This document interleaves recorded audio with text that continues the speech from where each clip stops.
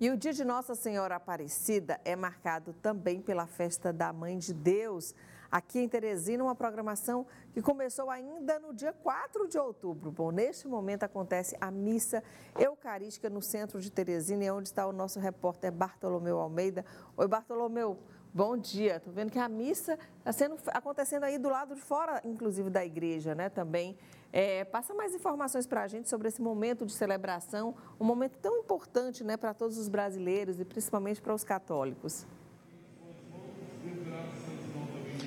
Mais uma vez, um bom dia para você, Neara Pinheiro. Olha, Neara, a festa da Mãe de Deus, ela já faz parte do patrimônio cultural e material da capital do Piauí. A missa começou por volta das 6 horas e 40 minutos, ainda está acontecendo. A missa que está sendo celebrada pelo arcebispo de Teresina, Dom Jacinto Brito. Nós estamos ao lado do Fernando Alencar.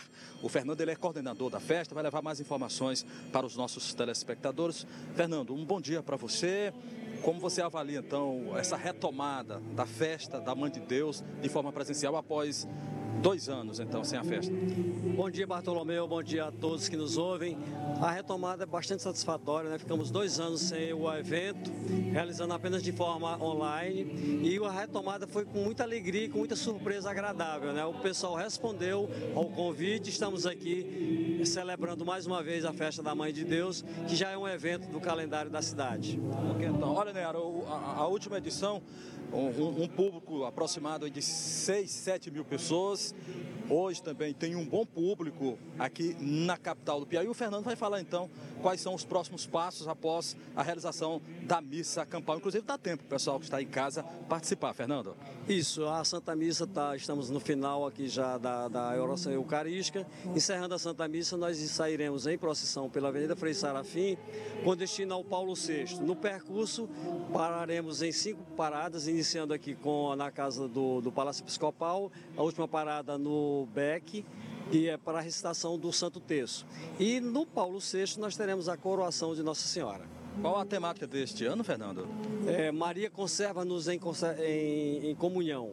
É, Maria, essa que nos aponta Jesus às bodas de Canaã, é a primeira discípula. A gente pede para o amadurecimento da nossa fé que ela realmente nos conserve sempre em comunhão.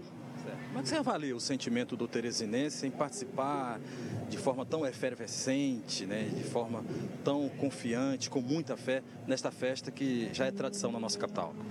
Bastante interessante a sua pergunta, Bartolomeu. A relação do teresinense, de forma especial, com Maria, ela é uma relação maternal, é filial, né? dos filhos para com a mãe, da mãe para com o filho. É um amor que realmente chega nesse nível. Então, assim, é comovente como a gente vê a devoção das pessoas em Teresina com Maria, né? Essa, essa relação bastante filial, bastante, bastante maternal. Fernando, muito obrigado, tá bom? Disponha. Agradecendo aí o Fernando Alencar, Neyara, que é o coordenador da festa. Portanto, daqui a pouco os fiéis vão seguirão na Avenida Frei Serafim até o Centro Pastoral Paulo VI, onde acontece o coroamento da nossa padroeira. Volto com você, Neyara Pinheiro.